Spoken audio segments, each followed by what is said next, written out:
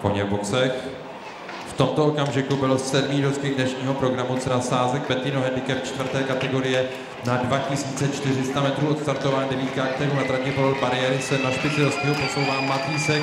Jezdec Adam Florian se snaží korigovat jeho chtivost, ale Matýsek přesto přebírá vedení. Na druhé pozici začíná dostih Wimbledon, třetí pak Mariposa, takže nejnižší startovní čísla podél bariéry vyrazila ku předu a dva kilometry před cílem je tedy na špici Matýsek o dvě délky před Wimbledonem, třetí Mariposa. Na čtvrté pozici pak následuje dvojice Ela a Modrava. Za nimi je to Marker Sands s favoritem Parabašem, předposlední Cvála Iovy, na pole uzavírá White Ghost.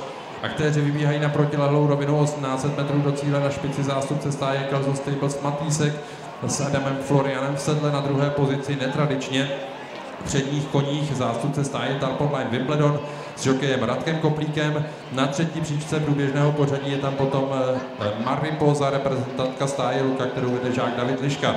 Na čtvrté pozici v už kompaktnějším poli, Adamu Florianovi se podařilo Matýska skorigovat, tak tedy na čtvrté pozici v kompaktnějším poli je tam potom eh, teď posunutý favorit Barabaš, společně s ním se vydala eh, před střed pole také Ela, za nimi na šesté pozici následuje Modrava, sedmý je tam Marker San, osmá Iovin a devátá White Coast.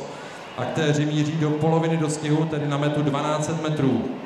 Na špici stále pracuje Matýsek před teď Maripozou, na třetí pozici je to Wimbledon, pole už je velmi kompaktní a hodně zhuštěné, na čtvrté pozici je tam pak Modrava, mezi tím se ale dopředu vydal vnějškem Marker San, který se teď posunul na druhou pozici až za vedoucího Matýska.